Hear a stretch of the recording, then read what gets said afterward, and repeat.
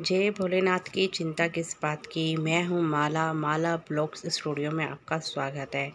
तो फ्रेंड्स, जैसे कि आपको पता है, मेरी चल रही है ये वेट लॉस की जर्नी और टू मंथ्स कंप्लीट होने वाले हैं और टू मंथ्स के करीब मैंने अपना वेट टेन प्लस के जी कम कर लिया है। तो फ्रेंड्स, आज मैं एक ख़ास टिप बताने वाली हूँ। इसके ज़रिए आप अपना वेट बहुत जल्दी रिड्यूस करोगे।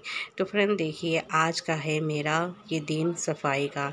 तो आज जो है मैं अपने घर की सफ़ाई कर रही हूँ, क्योंकि बच्चों की अब छुट्टियाँ ख़त्म होने वाली है, स्कूल खुलने वाले हैं तो यहाँ पर दोनों मेरे बेटे मेरी हेल्प कर रहे हैं।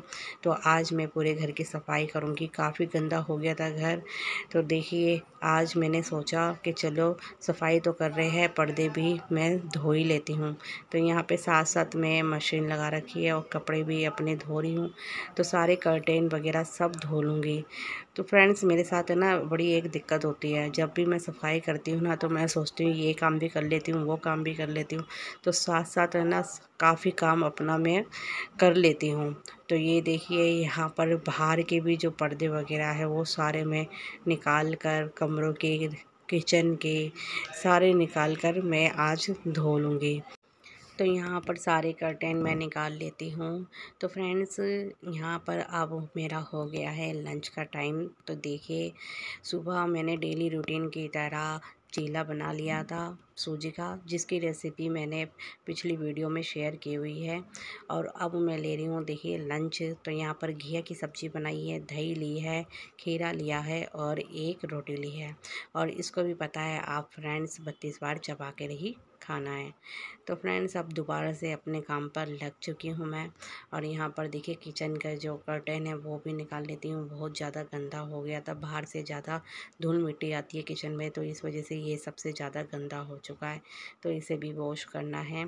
तो फ्रेंड्स, देखिए मैं आपको एक टिप बता रही हूँ, अगर आपकी वेट लॉस की जर्नी चल रही है ना तो बीच बीच में आपको इस तरह की एक्टिविटी अपने करती रहनी चाहिए। देखिए डेली रूटीन का काम तो हम सब करते ही हैं। लेकिन साथ में अगर हम ऐसे बीच बीच में जितना हो सके अपनी बॉडी से काम करेंगे ना, करवाएँगे तो उतना जल्दी हमारा जो वेट है ना, बहुत जल्दी रिड्यूस होगा। तो यहाँ पर फ्रेंड देखिए, जब भी मैं साफ़ सफ़ाई करती हूँ ना तो टीवी में लगा लेती हूँ भजन और उन भजन को लगा कर ही मैं काम करती हूँ। इससे मेरा मन लगा रहता है और काम भी मेरा ना थोड़ा सा जल्दी हो जाता है। और फ्रेंड्स यहाँ पर सारी साफ़ सफ़ाई मैं कर लूँगी। तो देखिए फ्रेंड्स हमारी जो बॉडी है ना, वो थोड़ा सा ना रूटीन में आ जाती है।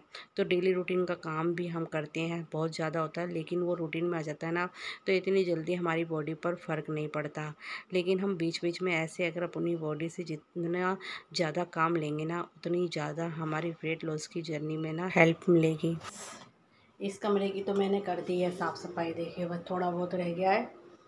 साफ़ सफ़ाई हो गई है। झाड़ू पोछा लगाऊँगी मैं। अब उस कमरे की करूँगी।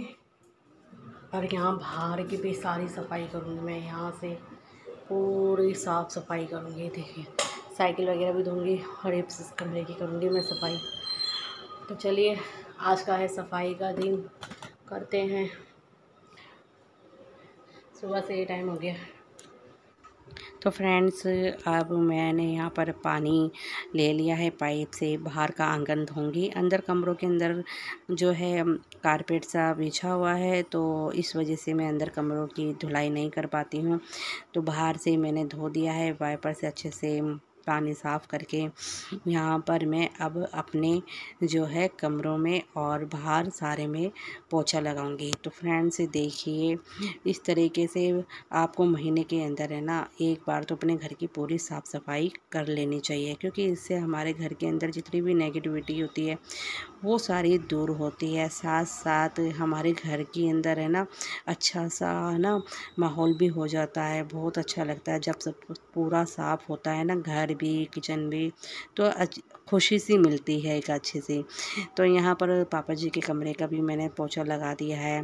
और ये देखिए, यहाँ पर अब मैं लगा रही हूँ ये कर्टेन तो ये काफ़ी पतले हैं। तो इस वजह से ना ये पंखे की हवा में ना सूख जाते हैं, आसानी से। तो मैं क्या करती हूँ, हाथ के हाथ इनको ना ऐसे ही टांग देती हूँ। और फ्रेंड्स जैसे कि आपको पता ही है, अब सावन का महीना आ गया है मानसून भी चल रहा है तो बारिश रेगुलर हो रही है। और यहाँ पर मैंने अपने दरवाजे पर ही पैंट वगैरह कपड़े सुखा रखे हैं। तो ये देखिए, अब शाम के बज गए हैं पाँच, मेरे को सुबह से काम करते करते और अब मैं नहा कर भी आ गई हूँ। और ये तकियों के अपने कवर में चेंज करके सिल रही हूँ और शाम की मैं कर रही हूँ पाठ पूजा।